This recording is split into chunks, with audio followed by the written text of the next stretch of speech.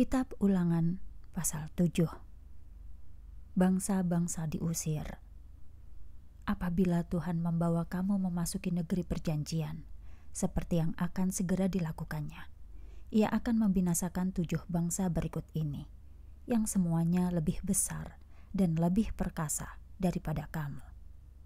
Orang Het, orang Girgasi, orang Amori, orang Kanaan, orang Feris, orang Hewi, dan orang Yebus. Pada waktu Tuhan Allahmu menyerahkan mereka ke dalam tanganmu untuk dibinasakan, kamu harus menumpas mereka sampai habis. Janganlah kamu membuat perjanjian perdamaian dengan mereka atau mengasihani mereka. Janganlah kamu menikahkan anak-anakmu laki-laki ataupun perempuan dengan anak-anak mereka. Karena kalau menikah dengan mereka, anak-anakmu pasti akan menjadi penyembah Allah-Allah mereka. Akibatnya, Tuhan akan murka sekali terhadap kamu, dan Ia pasti akan membinasakan kamu.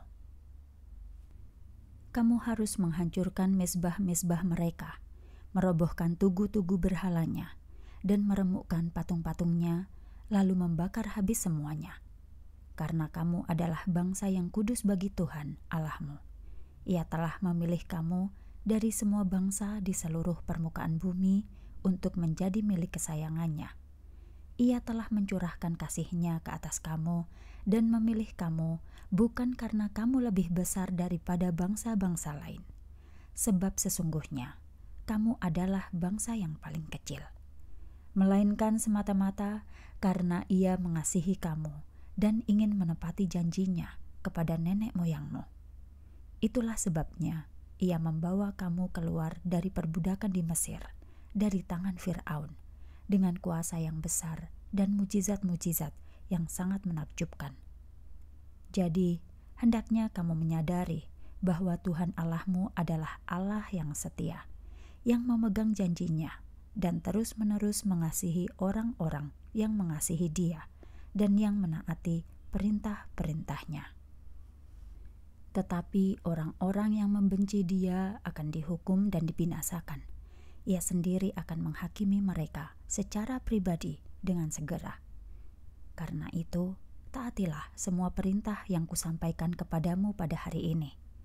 Jika kamu menaatinya, Tuhan Allahmu akan menepati janji kasih setia yang telah dibuatnya dengan nenek moyangmu ia akan mengasihi serta memberkati kamu, serta menjadikan kamu satu bangsa yang besar.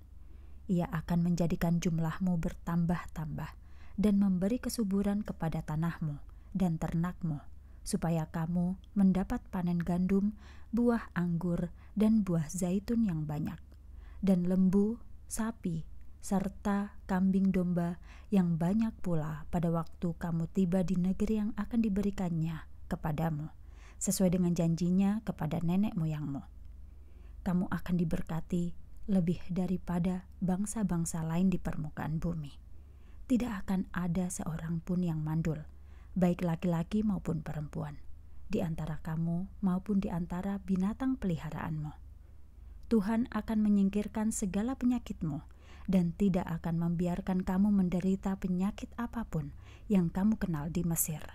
Tetapi Ia akan menimpakannya ke atas musuh-musuhmu. Kamu harus membinasakan semua bangsa yang diserahkan Tuhan Allahmu ke dalam tanganmu. Janganlah kamu mengasihani mereka, dan janganlah kamu menyembah Allah-Allah mereka, supaya kamu jangan celaka. Barangkali kamu berpikir dalam hatimu, mana mungkin kita mengalahkan bangsa-bangsa yang jauh lebih kuat daripada kita.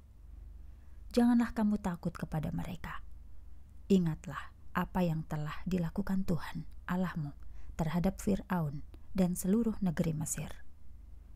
Kamu tahu akan segala kengerian yang didatangkan Tuhan ke atas mereka. Orang tuamu menyaksikan sendiri semua mujizat serta tanda ajaib dan kuat kuasa Tuhan Allahmu yang membawa kamu keluar dari Mesir.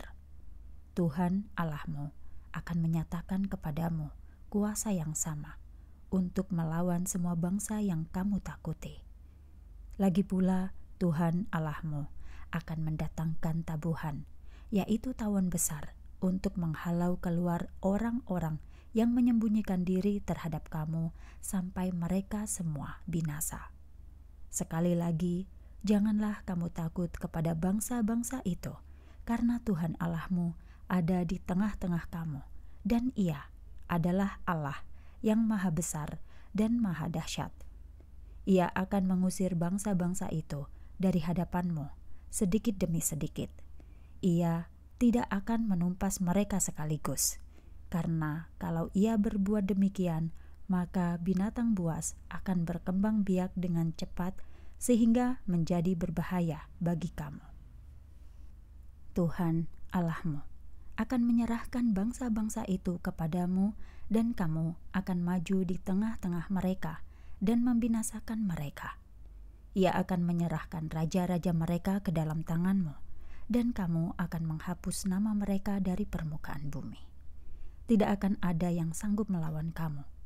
Bakarlah segala berhala mereka sampai habis, dan janganlah kamu menyentuh perak atau emas yang ada pada berhala itu. Janganlah kamu mengambilnya supaya tidak menjadi jerat bagimu, karena perbuatan seperti itu adalah kebencian bagi Tuhan Allahmu. Janganlah kamu membawa berhala itu ke dalam rumahmu, supaya kamu jangan dibinasakan karenanya kamu harus benar-benar merasa jijik terhadap berhala-berhala itu, karena benda-benda itu adalah benda terkutuk yang harus dimusnahkan.